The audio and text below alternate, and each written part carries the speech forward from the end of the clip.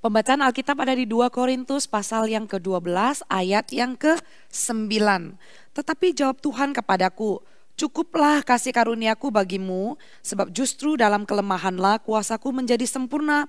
Sebab itu terlebih suka aku bermegah atas kelemahanku, supaya kuasa Kristus turun menaungi aku.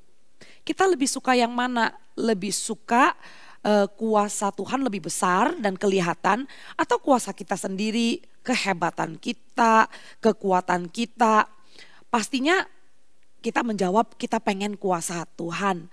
Nah inilah pernyataan Paulus sewaktu dia kesakitan, ada duri, ada di dalam dagingnya. Uh, Paulus meminta kesembuhan, tapi mujizat kesembuhan itu ter, tidak terjadi.